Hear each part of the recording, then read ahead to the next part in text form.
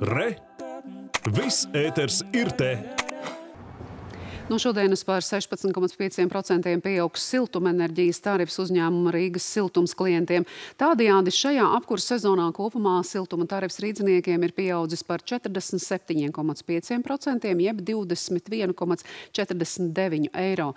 Augstākie apkūras tarifi šo sezonu ir arī citās Latvijas pašvaldībās, kur par kurināmo izmanto galvenokārt dabas gāzi. Lai palīdzētu iedzīvotājiem sekt augstos apkūras rēķinus, Latvijas pašvaldības savienība, ekonomikas un labklājības ministrija strādā pie vairākiem risinājumiem. Viens no tiem - paaugstināt ienākumu slieksni, no kura persona kvalificējas trūcīgas personas statusam un var saņemt sociālo palīdzību, to skait mājokļu pabalstu ir bijušas tās bažas, ka pēc eh, pēdējām izmaiņām, kas ir bijušas, izkrīt ārā eh, zināmas iedzīvotāju grupas, kurām nenoliedzami varētu būt eh, problēmas, kas varētu būt vientuļie pensionāri. Ja, teiksim, ja viņam pensija ir 300 eiro, tad viņš nevar kvalificēties šādam atbalstam, kas viņam ir vajadzīgs. Arī nu, daudz bērnu ģimenes tās varētu būt un citas grupas. Šī ziema būs, būs ar tādu strauju cenas lēcienu dažādās pašvaldībās, un mums kā valstī par šīm pašvaldībām un šo pašvaldību iedzīvotājiem tad ir jāprūpējas.